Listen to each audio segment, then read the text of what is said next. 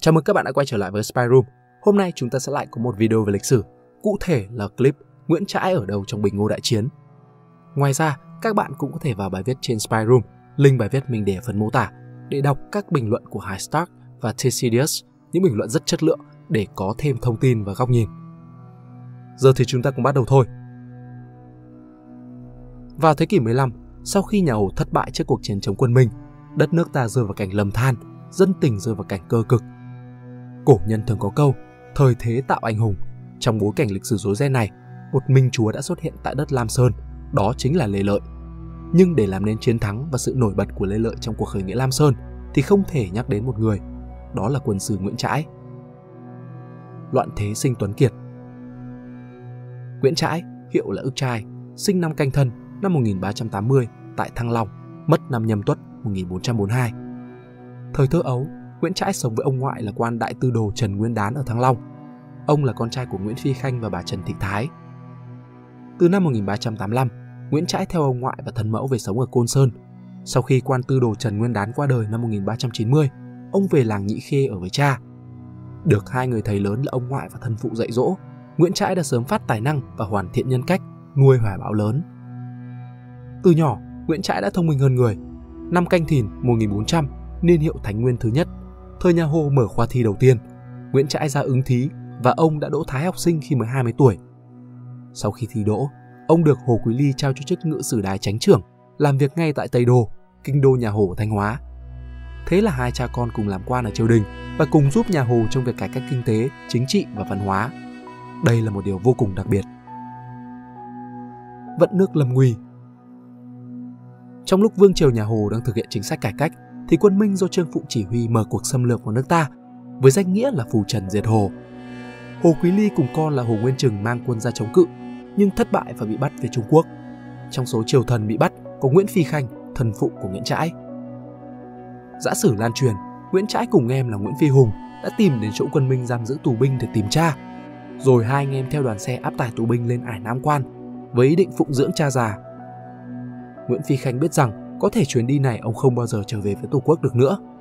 Cho nên nhân lúc vắng vẻ, ông bảo với Nguyễn Trãi rằng con là người có học, có tài nên tìm cách rửa nhục cho nước, trả thù cho cha. Như thế mới là đại hiếu. Cứ phải theo cha khóc lóc như đàn bà thì mới là hiếu hay sao? Nói xong, Nguyễn Phi Khanh bảo Nguyễn Trãi quay về và chỉ cho Nguyễn Phi Hùng theo sang Trung Quốc mà thôi. Nguyễn Trãi gạt nước mắt từ biệt cha già và em rồi quay trở lại tìm đường cứu nước. Về đến Đông Quan, thì ngay lập tức ông bị giặc bắt.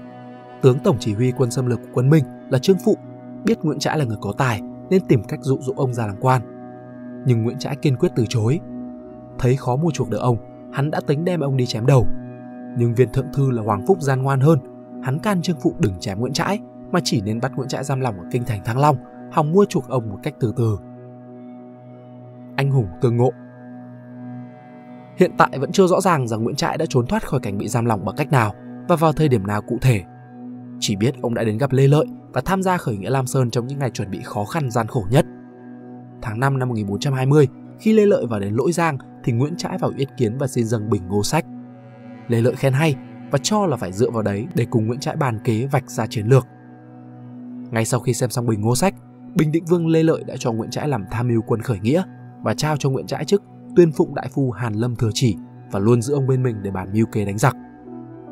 Khi quân Minh được tin Bình Định Vương Lê Lợi khởi nghĩa, Mã Kỳ là tướng quân Minh đang đóng tại Tây Đô, liền kéo quân về đánh dẹp. Thấy quân giặc quá đông đảo và ồ ạt tới, Lê Lợi liền rời hết nghĩa quân sang Lạc Thủy ở vùng Quảng Hóa, xứ Thanh để làm căn cứ. Chúng không biết đây là kế trá bại. Mã Kỳ xua binh đuổi theo để phải lọt vào trận địa phục kích của nghĩa quân. Lê Lợi liền truyền lệnh cho chư tướng ở ba bề đổ ra đánh. Lê Thạch, Lê Ngân, Lê Lý, Đinh Bồ lập tức tung quân ra vây đánh, chém được 3.000 quân Minh. Sau trận này, quân Đại Việt cấp tốc rời sang vùng núi Chí Linh, nay là Thụy Nguyên, Thanh Hóa. Đó là chiến thuật chiến tranh du kích của Lê Lợi và Nguyễn Trãi. Từ đó trở đi có thắng có bại, nhưng đến khi Nguyễn Trãi dâng kế sách Bình Ngô, quân Minh ngày một thua tới mãi. Khi quân khởi nghĩa vây Đông Quan, bọn Mã Kỳ tướng quân Minh phải dâng biểu về nước xin viện binh. Nguyễn Trãi không chỉ là người vạch ra kế hoạch chiến lược mà còn là người trực tiếp chỉ huy thực hiện một cách tài ba. Ông là tác giả của cuốn Quân Trung từ mệnh tập, là tác phẩm của một tập hợp những văn kiện quân sự xuất sắc. Đích Thần Nguyễn Trãi đã từng bao phen lăn mình vào miệng cọp. Tiếng nói và ngòi bút tuyệt vời của ông có sức mạnh chẳng kém gì cả trăm vạn quân thiện chiến. Hàng chục thành trì kiên cố của giặc, kể cả sao huyệt nguy hiểm cuối cùng của chúng là thành Đông Quan, đều phải hạ vũ khí đầu hàng bởi loại hình tấn công đặc biệt này. Khai quốc công thần vì đâu nên nỗi.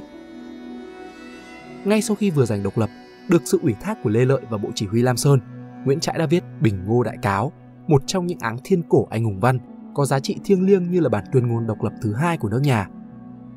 Năm 1428, Triều Lê tiến hành định công ban thưởng cho những người có công trong sự nghiệp đánh đuổi quân Minh. Bấy giờ có 221 người được ban thưởng, và trong 221 người ấy có 43 người được ban tước vị theo thứ tự 9 bậc cao thấp khác nhau. Rất tiếc là Nguyễn Trãi chỉ được xếp vào số 1 trong 26 người của hàng thứ bảy với tước vị khiêm nhường là Á Hầu mà thôi. Chỉnh đốn càn khôn tòng thử liễu, thế gian na cánh số anh hùng. Hai câu trên có nghĩa là khi đã chỉnh đốn xong càn khôn thì thế gian mấy ai còn nghĩ tới bậc anh hùng. Với sự trợ giúp đắc lực của Nguyễn Trãi, nghĩa quân Lam Sơn do Lê Lợi đứng đầu đã giành thắng lợi sấm vang chớp giật, trúc trẻ cho bay, khiến quân Minh bạt vía, kinh hồn. Vương Thông phải bỏ thành Đông Quan đầu hàng để được toàn mạng rút quân về nước. Nếm mật nằm gai cùng Lê Lợi dựng nên đại nghiệp, tiếc rằng đến cuối đời, vị công thần khai quốc nhà hậu Lê vướng vào vụ án lệ chi viên khiến ba họ bị tru di. 22 năm sau vụ án oan thấu trời xanh này, năm 1464, vị vua thứ tư của nhà hậu Lê là Lê Thánh Tông mới giải được nỗi oan khuất cho Nguyễn Trãi. Sau đó, Lê Thánh Tông cho tìm lại hậu duệ của Nguyễn Trãi phải chạy trốn sau vụ án oan để bổ làm quan. Năm 1980, nhân kỷ niệm 600 năm ngày sinh của Nguyễn Trãi, Tổ chức của Liên Hợp Quốc về Giáo dục, Khoa học và Văn hóa UNESCO đã trân trọng ghi tên Nguyễn Trãi vào hàng danh nhân văn hóa của nhân loại. Ông là người Việt Nam thứ hai có được vinh dự lớn lao này. Hy vọng các bạn sẽ thích video lần này. Đừng quên like, share và subscribe của chúng mình. Và nếu các bạn thích những nội dung như trên thì xin hãy đăng nhập vào spyroom.com để tìm hiểu thêm. Mình là Việt Anh, xin chào và hẹn gặp lại.